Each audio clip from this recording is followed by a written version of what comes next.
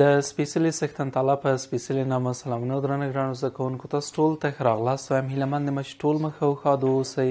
د ژوند ټولې چارې مو په ځانګړي ډول له سنو درسونو په ښه ډول باندې پر مخ لاړې شي ګرانو زده کوونکو نن ورځ موږ د یولسم ټولګي د تاریخ د مضمون اخرنی لوست لولو دغه ډیر مهم او اړین لوست دی او موږ دغه ټولګی پای ته ورسوو دا هم یو ویاړ دی تاسو ته هم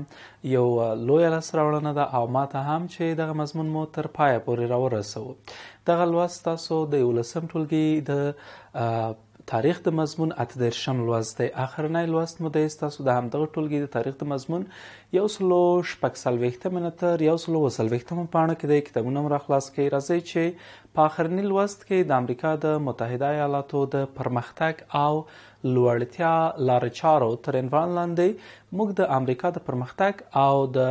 لوړې پوړۍ ته چې رسېدلې په دغه باندې پوه شو چې له کوم ځای نه دوی را پیل کړه خو مخکې له دې نه چې دغه اخرنی لوست زه تاسو ته وړاندې کړم تیر لوست ته به هم یوه لنډه کتنه وکړو ځکه چې هغه لوست هم د امریکا د متحده ایالاتو اړوند و هغه لوست مو د امریکا د متحده ایالاتو د خپلواکۍ تر انقلاب تر عنوان لاندې و چې هلته موږ د امریکا د متحده ایالاتو د خپلواکۍ د انقلاب په اړه پوه شو چې هلته هغه مهاجر کډوال چې له اروپا نه تللي ول هلته او هغوی دیارلس ایالتونو کې ژوند کاوه، په هغوی باندې هلته انګلیسانو بیا ډیر واک درلوده، په دوی باندې مالیه وضع کړله او انګلیسانو هلته فرانسې ته هم ماته ورکړې وه، بیا فرانسویان د دې کډوالو ملاتړ وکړ او د دغه ملاتړ په ترڅ کې بیا همدغه کادروالو د یوه انقلاب په ترڅ کې وشو کړلی انګلیسي پوځیانو ته ماته ورکړي او همغه و چې دوی د جورج واشنګټن په مشرۍ باندې دغه انقلاب را پیل کړی او وشو کړلی چې خپلواکۍ ته ورسیږي او سمدلاسه همغه دیارلس ټول ایالتونو خپله خپلواکي اعلان کړه ټولو خپل هیوادونه د امریکا د متحده ایالاتو په نامه باندې ونومول ترڅنګ موږ د هغه اعلامیې په اړه هم په هغه لوست کې پوه شو چې د خپلواکۍ اعلامیه وه او په هغو اصولو باندې هم پوه شو چې په دغه اعلامیه کې راغلي ول نو مهم او اړین ټکي وو که بیا مو هم غوښتل تیر لوست ته یوه کتنه وکړئ دغه ټول معلومات به تاسو بیا هم راواخلئ اوس راځئ چې د نوي لوست موخې وټاکم ډېرې اړینې او مهمې موخې هم دي موخې یو ځای سره سارو او لاسته یې حتما د لوست تر پای پورې ترلاسه کوو زموږ د ملاتړ لپاره د بیګم اکاډمیک چینل له ځان سره سبسکرایب کړئ بیا د شرنګنۍ تڼۍ کېکاږئ تر څو زموږ ټولو درسي ویډیوګانو ته لاسرسی ولرئ او له هغو څخه برخمن شئ د نن ورځې لومړنۍ موخه مو ده د امریکا د متحده ایالاتو د پرمختګ او لوړتیا لارو چارو په اړه پوهیدل دي چې موږ به اول د دوی د پرمختګ او لوړو پوړۍ ته د رسیدلو په اړه په دغه لوست کې حتما پوهیږو د امریکا د صنعت د دریو اصلي مادو پیژندنه هم په دغه لوست کې کوو چې دوی د صنعت هغه درې اصلي ماده کومې ماده دي او بریتانوي پوهاند د سومایل سلاتر په اړه هم موږ په دغه لوست کې زه تاسو ته معلومات در وړاندې کوم چې ده هم د امریکا په صنعت کې یو لوی ګام ایښی دی او دا چې دی څوک دی او څه کارونه ده ترسره کړي دي د په اړه به هم زه تاسو ته ووایم د امریکا د مریتوب ضد غورځنګ په هکله هم په دغه لوست کې زه تاسو معلومات درکوم چې د غلامۍ ضد غورځنګ یا پاڅون د دوی څه ډول پاڅون و، څه رقم راپیل شو، څومره غړي یې درلودل؟ نو دومره مهم او اړین ټکي په دغه لوست کې لرو، له ما سره د لوست تر پایه پورې پاتې شئ، تاسو به په دغه ټولو ټکو باندې د لوست تر پایه پورې پوه شئ. راځئ چې پیل وکړو، د امریکا د متحده ایالاتو د پرمختګ او لوړتیا لارې چارو تر عنوان لاندې امریکا چې په اوسني مهال کې په دغه یوویشتمه پېړۍ کې د یو شمیر سترو ځواکونو څخه شمیرل کیږي یو ابرقدرت دی د نړۍ ډیر ځواک او ستر ځواک لري په 15مه زیږدیزه پیړۍ کې چې اوس 20مه زیږدیزه پیړۍ ده ورګرځو شپږ پیړۍ وړاندې یعنی شپږ سوه کاله وړاندې هلته په 15مه زیږدیزه پیړۍ کې هلته امریکا ته اروپایي کډوال ورغلل دغه کډوال چې هلته لاړل د امریکا دغه هیواد یې له بنسټیزو بدلونونو سره مخ که او هلته بنسټیز یعنی تهدابي بدلونونه هم رامنځته شول د امریکا د هیواد پرمختګ او اطلاع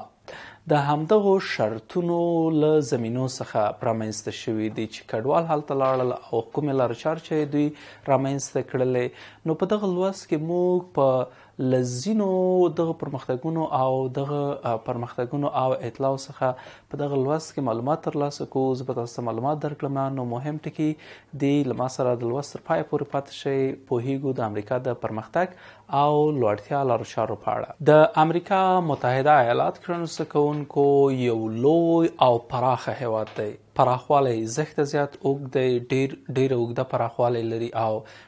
ډېر پراخ هېواد دی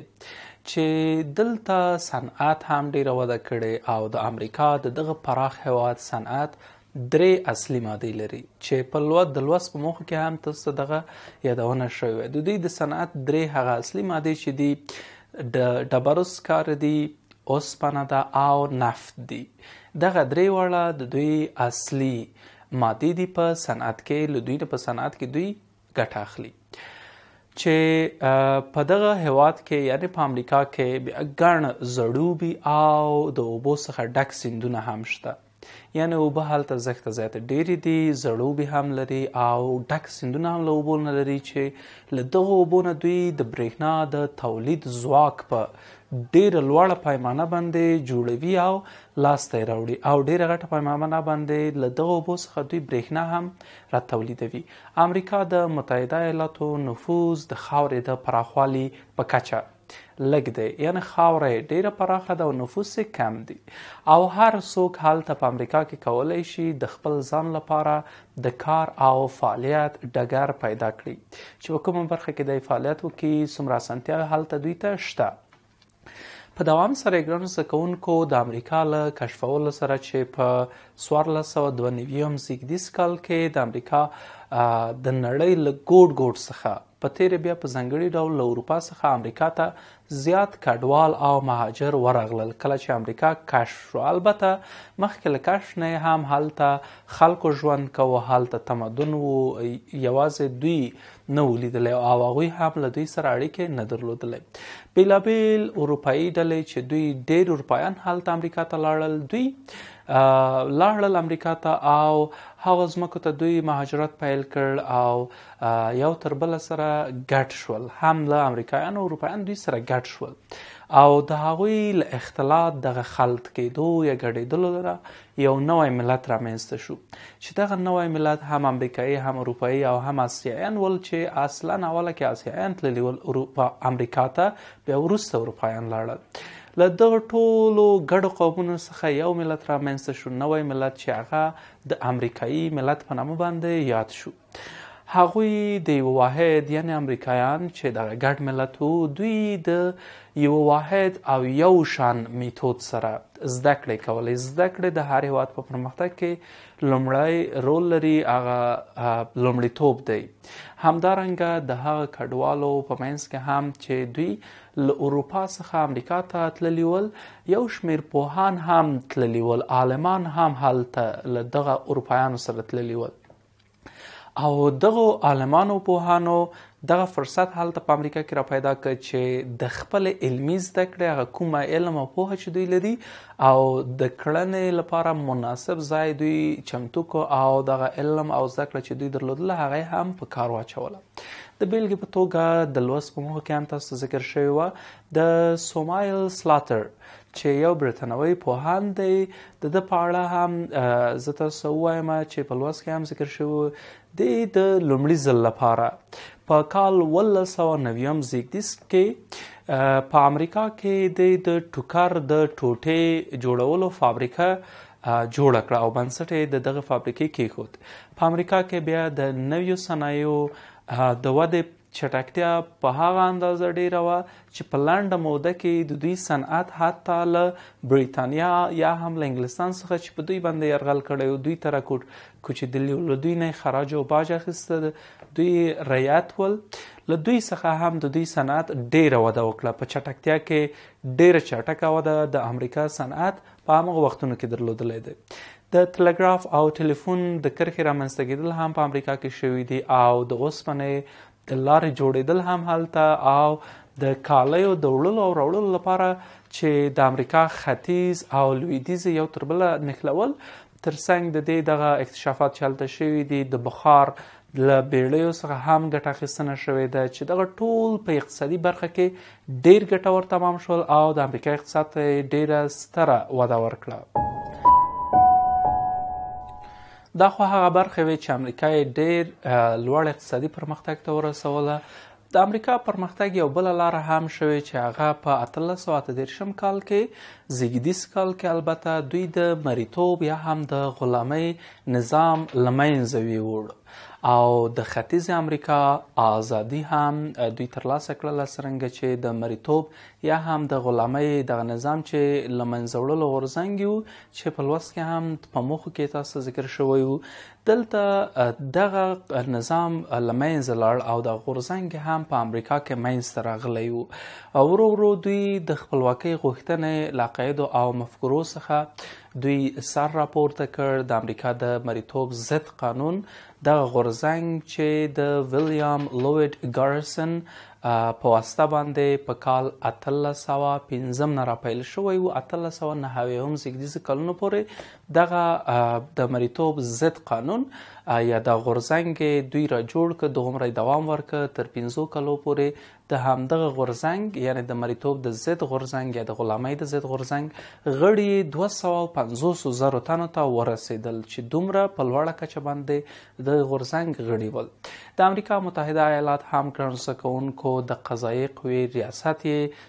جان مارشل درلوده چې له اتلس سوه یوم زیږدیز کال نه تر اتلس سوه پنځه دېرشم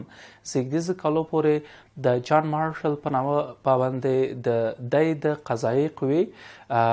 ریاست په خپله غاړه باندې درلوده اتلس سوه یو نه تر اتلس سوه پنځه دېرشم څلور دېرش کاله د امریکا د ملي یووالي لپاره بیا یو بل پیاوړی ځواک هم همدغه د قضایي قوې ریاست و همدارنګه د دیموکراتیکې نظریې چې هلته په خلکو کې او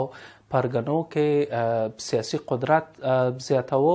دغه زیاتوالی او د لومړي ځل لپاره د انګلستان د کورنیو جګړو د اولسمې پیړۍ په سلويختمه لسیزه کې چې رامنځته شوی وو د امریکایانو غوګونو ته هم ورسېده او که څه هم داسې نظریې څه بریالی نه شوې په امریکا کې خو د هغو له پیل څخه د اسانتیا اړیکو د پرمختګ لپاره لار هواره کړل او اسانتیا هم ډېره منځته شوه نو دیموکراتیک نظریه هم په امریکا کې وده وکړله پورتنیو آندونو یا مفکورو نظرونو په سیاسي برابریو کې مساوات کې او د خلکو په اراده باندې ټینګار درلوده په اوسني عصر کې بیا په متحده ایالاتو کې د سالمې ادارې رامنځته شوې دغه دوی د دغه سالمې ادارې د رامنځته کېدو سره په نویو شرایطو کې دیموکراسي د منلو امکانات هم پیدا کړل خو په امریکا کې بیا د دیموکراسي هیڅ کله هم آسانه باندې وده نه ده کړې یعنی ډیر کړاوونه زحمتونه یې ګاللي دي چې تر څو وده یې کړې ده دیموکراسي بلکې د امریکا د دیموکراسۍ له نظام سره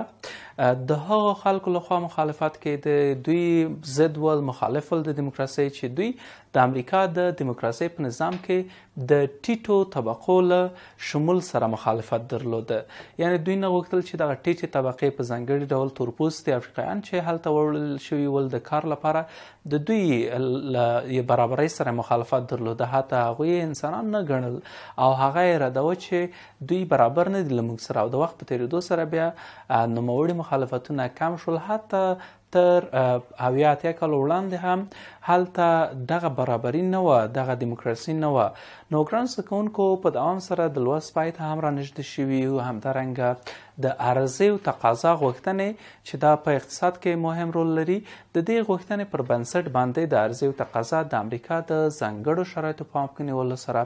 د آزاد بازار د اقتصادي سیستم په اساس باندې له معقولو اقتصادي